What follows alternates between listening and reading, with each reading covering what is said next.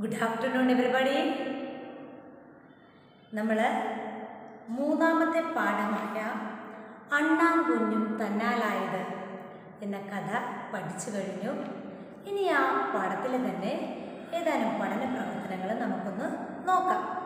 എല്ലാവരും ശ്രദ്ധിച്ചിരിക്കണം കേട്ടോ. നല്ല കുട്ടികളായിട്ട് എല്ലാവരും ശ്രദ്ധിച്ചിരിക്കണം. എനിക്കറിയാം എല്ലാവരും നല്ല കുട്ടികളാണെന്ന്. ഓക്കെ ഫസ്റ്റ് അർത്ഥം എഴുതുകയാണ്. First question പ്രശസ്തം.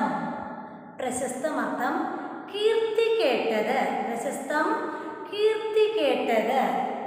നെക്സ്റ്റ് വൺ പത്നി. പത്നിയുടെ അർത്ഥം എന്താണ്? ഭാര്യ. പത്നി ഭാര്യ. Okay then വാനരൻ. വാനരന്റെ അർത്ഥം എന്താണ്? കുരങ്ങൻ. വാനരൻ കുരങ്ങൻ. ദെൻ സേതു. സേതുവിന്റെ അർത്ഥം എന്താണ്? ചിറ. എന്താണ്? ചിറ. സേതു ചിറ. ആകാരം. ആകാരത്തിന്റെ അർത്ഥമാണ് ആകൃതി. ആകാരം ആകൃതി. ആഹാരമല്ല കേട്ടോ. ആകാരം. മിസ് എഴുതി കാണിച്ചു തരാം. ആകാരം. ഇതാണ് കേട്ടോ. ആകാരം ആകൃതി. Okay next നിരതർ. നിരതർ ആരാണ്? മുഴുകിയവർ. നിരതർ മുഴുകിയവർ. നിരതർ മുഴുകിയവർ. ഒന്നുകൂടെ മിസ് പറയാം. പ്രശസ്തം കീർത്തി കേട്ടത് പത്നി ഭാര്യ വാനരൻ കുരങ്ങൻ. സേതു ചിറ. ആകാരം ആകൃതി. നിരതർ മുഴുകിയവർ. ഒരെണ്ണം കൂടെ ഉണ്ട്. കർമ്മം പ്രവൃത്തി. കർമ്മത്തിന്റെ അർത്ഥം എന്താണ്? പ്രവൃത്തി. ക്ലിയർ ആണോ? ഓക്കെ നെക്സ്റ്റ് വിപരീത പദം എഴുതുകയാണ്. എന്താണ്?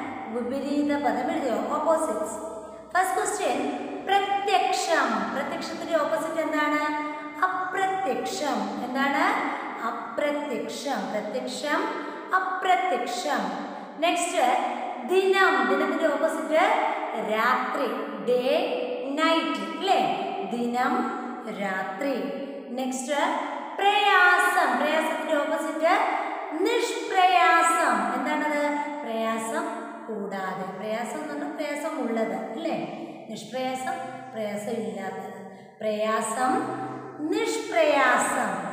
നെക്സ്റ്റ് സ്നേഹം. സ്നേഹത്തിന്റെ ഓപ്പോസിറ്റ് ദേഷ്യം അല്ലേ സ്നേഹം ദേഷ്യം.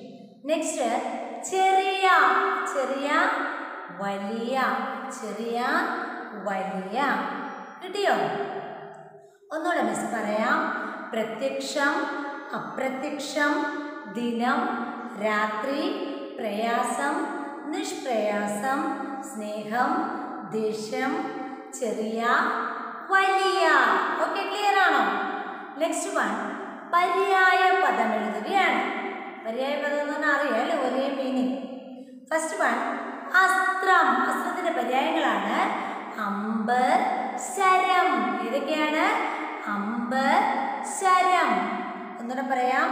അസ്ത്രം അമ്പ് ശരം നെക്സ്റ്റ് വൺ പർവതം. പർവതത്തിന്റെ പര്യായങ്ങളാണ് ഗിരി ശൈലം ഏതൊക്കെയാണ്? ഗിരി ശൈലം നെക്സ്റ്റ് വൺ വാനരൻ. വാനരന്റെ പര്യായങ്ങളാണ് മർക്കടൻ കുരങ്ങൻ. ഏതൊക്കെയാണ്? മർക്കടൻ കുരങ്ങൻ. ഒന്നുകൂടെ മിസ് പറയാം. അസ്ത്രം അമ്പ് ശരം. അസ്ത്രം അമ്പ് ശരം. നെക്സ്റ്റ് വൺ പർവതം ഗിരി ശൈലം. ദെൻ വാനരൻ മർക്കടൻ കുരങ്ങൻ. ക്ലിയർ ആണോ? ഓക്കെ ദെൻ പിരിച്ചെഴുതുക. ഏതാണ് പിരിച്ചെഴുതുക.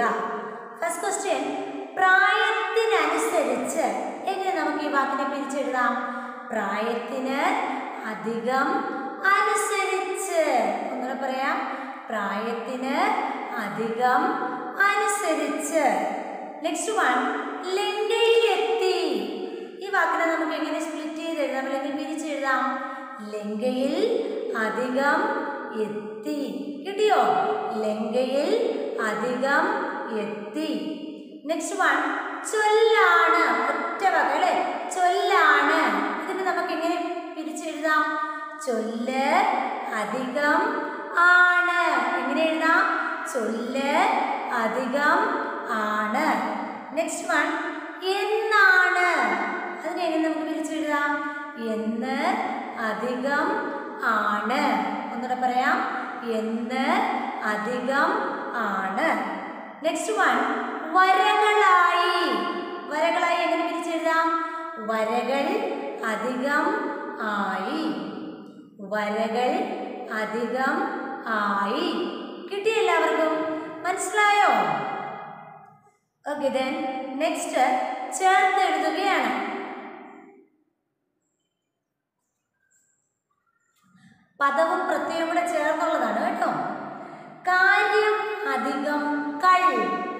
എഴുതാം.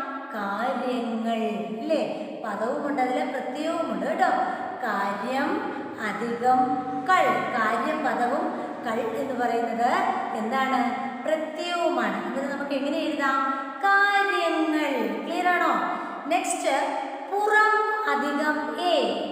പുറം അധികം എ. പുറം എന്ന് പറയുന്ന പദവും എ എന്ന് പറയുന്നത് പ്രത്യയവുമാണ്. ഇത് നമുക്ക് ചേർത്ത് എങ്ങനെ എഴുതാം? പുറമേ അല്ലേ? പുറം അധികം എ. എങ്ങനെ എഴുതാം? പുറമേ.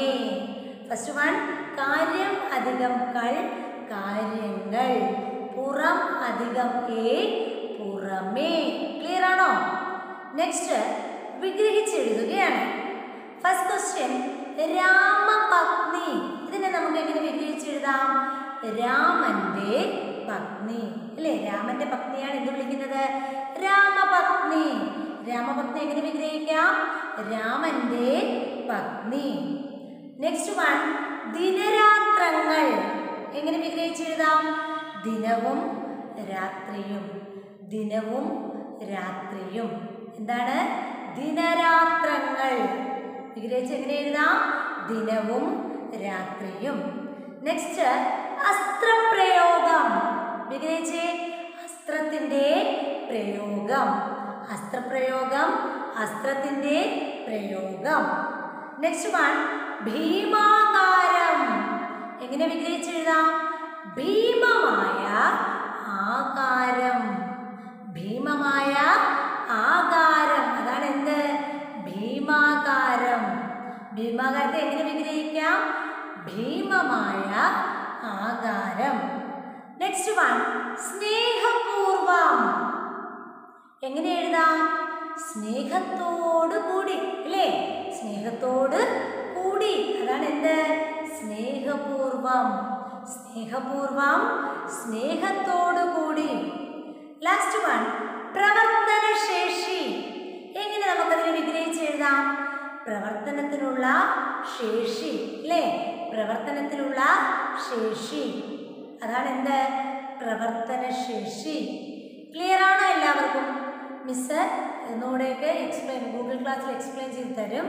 പിന്നെ നോട്ട്സ് നിങ്ങൾക്ക് അല്ലാതെ ഇട്ട് തരും കേട്ടോ. ഓക്കെ എല്ലാവർക്കും മനസ്സിലായി കാണുമെന്ന് കരുതുന്നു. എല്ലാവർക്കും നന്ദി.